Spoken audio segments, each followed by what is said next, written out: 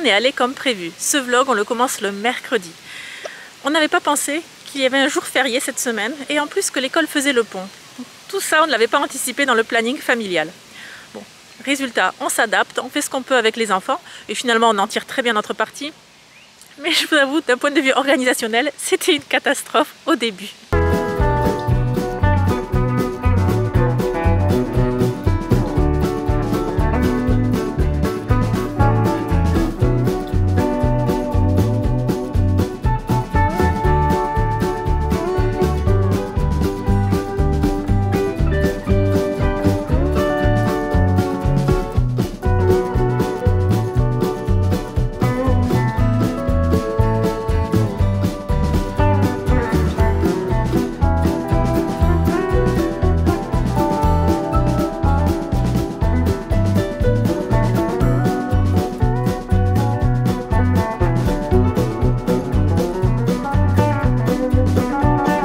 Jeudi matin, au programme de la pluie. Mais qu'importe, nous avons tout de même décidé d'aller à la plage. On va essayer de passer entre les gouttes. Je pars en voiture avec bébé, mon mari part avec les deux garçons à vélo. Et oui, je suis, je suis pas loin en voiture, histoire de récupérer ceux qui sont fatigués et justement en cas de pluie. Depuis quelques jours, mon mari a installé le siège auto, enfin le siège bébé pour le vélo à l'arrière de son vélo, qui est destiné au tout bébé. Mais notre cadet y a pris goût. Donc là, on va voir est-ce qu'il prend son petit vélo ou est-ce que justement il va être à, à hauteur d'adulte. Allez, en piste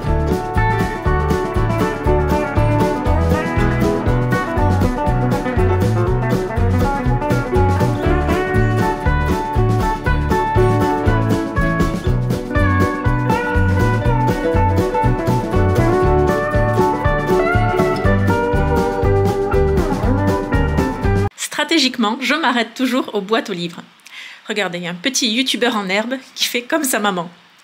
Je dois dire que depuis moins une bonne année, une deux années, moi je fréquente deux trois boîtes à livres en particulier, et c'est pas des boîtes poubelles. Vous voyez ce que je veux dire Où les gens se débarrassent de, leurs vieux livres, ils en veulent pas. Non. celles que je, fréquente sont super. il y a une réelle rotation des livres et c'est de bons livres que les gens se, se donnent. Et ça, c'est vraiment très généreux. quoi. J'aime participer à ce mouvement. Waouh Nous avons découvert une réserve naturelle sur l'endroit de l'ancien incendie. Donc réserve naturelle à Anglette, où, ils replantent les arbres, puis justement on préserve et on essaie de replanter tout ce que, tout ce que l'incendie de l'année dernière a, a brûlé. Et c'était très agréable avec les enfants. Vous le voyez, nous passons beaucoup de temps en extérieur avec les enfants. Ils ont besoin de faire du sport, de se dépenser, de sauter, grimper aux arbres, escalader, euh, courir. Ils en ont besoin. C'est quelque chose qui était incompréhensible pour moi avant. Avant, c'est-à-dire à l'époque où j'étais féministe. Je pensais que les garçons avaient ce, trop plein d'énergie qu'il fallait étouffer. Donc ça, la, la masculinité toxique. Et donc je ne voyais pas la différence entre la nature et la personnalité. Et là, j'ai grâce extraordinaire, je suis mère de trois garçons. Si j'avais eu trois filles, bien sûr, ce serait une grâce aussi, c'est pas ce que je dis. Ce que je dis, c'est que j'apprends à être mère et j'apprends à respecter nos enfants tels qu'ils sont. Ce sont des garçons. C'est inscrit dans leur nature de se dépenser physiquement.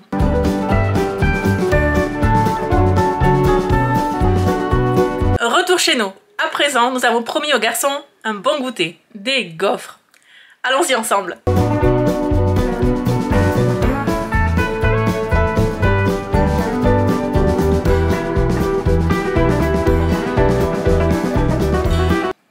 En tant que fille, bah, écoutez, j'avais été une enfant tranquille, j'étais assise avec un coloriage et pendant des heures, je pouvais rester assise à faire des, ateliers créatifs avec un petit bout de laine, un petit bout de ficelle, à, coller des perles. Enfin, pour nos enfants, c'est impossible. Et ce n'est pas parce qu'ils sont insupportables, ce n'est pas parce que c'est une virilité, une masculinité qu'il faille étouffer. C'est pas non, c'est inscrit dans leur nature. Il y a aussi à côté de ça la personnalité qui accentue ou euh, diminue certains traits. Certains garçons ou certaines filles sont davantage sportifs et aiment se dépenser ainsi, et d'autres non, pas du tout. Mais j'apprends en tant que mère à faire bien cette différence. Et nos garçons ont cet incroyable besoin de mouvement, d'activité.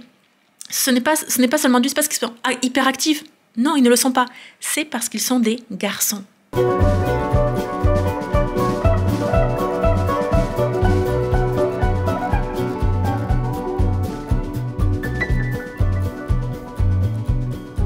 Vendredi, nous avons décidé de faire une petite promenade en forêt. Alors oui, il pleut, la météo a prévu de la pluie pour toute la journée, mais on espère s'en sortir entre les gouttes. Alors oui, comme vous le voyez, les enfants font beaucoup de sport et sont beaucoup en plein air. C'est très important pour nous. Bon, c'est peut-être un peu lassant pour vous à regarder, mais en fait c'est ça notre quotidien. On essaie le plus possible de sortir dans la nature avec les enfants de sortir en extérieur.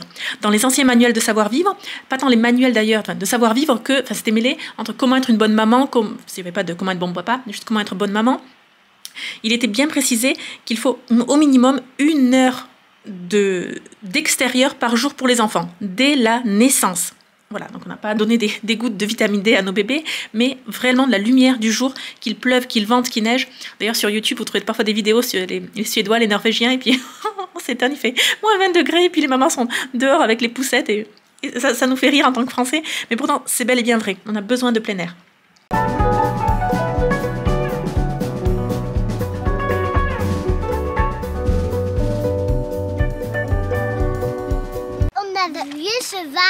Rien n'est allé comme prévu. Ce vlog, on le commence le mercredi. Et poursuivons encore, nous n'avons pas pu aller à la messe de l'Ascension. Il y avait, c'est la faute à personne, ça arrive, mais en tout cas, il est écrit 18h30 sur la, messe, sur la feuille de messe. Or, la messe était à 17h30. Donc nous sommes arrivés avec une belle heure de retard. Oh, zut de zut. Bon, entre les gouttes, on essaie de faire ce qu'on peut durant tous ces, ces cinq jours en famille. Ça, c'est le sac pour aller à l'église. Attends, le sac avec toutes les je veux lire, je veux lire.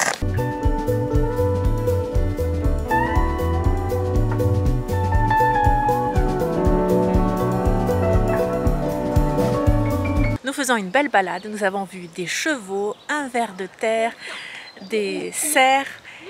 Très très bien. On a même reçu en cadeau. Qu'est-ce qu'on a vu? Un ver de terre d'abord. Après, on a vu des, des, biches. Après, des chevals. Et des poneys, des poneys, et après, et après euh, vous avez entendu, super. Et en plus, on a eu une plante de menthe et de mélisse à planter chez nous très belle journée. Pour ce qui est des jours fériés, je vous avoue mon total échec. C'était sur mes ambitions, mes objectifs de l'année 2020 de célébrer les jours fériés, ou tout du moins de ne pas travailler les jours fériés. Je les ai tous manqués. c'est la vie d'un entrepreneur qui fait ça, la vie de maman, même entrepreneur.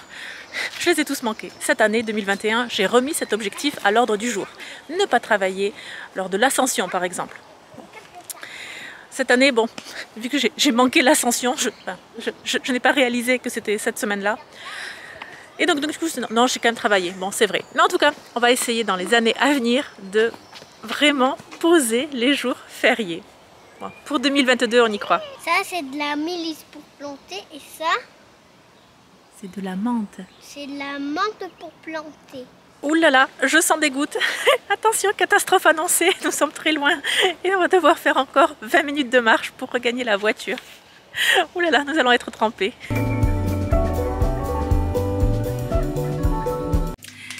Donné qu'un monsieur nous a donné de la menthe à replanter et de la mélisse, c'est très généreux de sa part, nous allons le replanter, mais avant, nous allons arracher quelques petites feuilles, les couper, et je viens d'acheter justement un taboulet, donc ça un petit air d'été ce week-end, bon même s'il y a de la pluie au programme, mais en c'est pas grave, ça et des chipolatas, ça va être très bon, enfin bon, aubergines, échalotes, bon un petit retour de course tout simple, mais waouh, c'est euh, super, ça me fait un petit goût d'été, de souvenir d'enfance, excellent, et puis qu'est-ce que les gens sont généreux, comme ça on sympathise, on discute, et, paf, ils nous donnent à replanter des mélisses et, et menthes, c'est waouh, super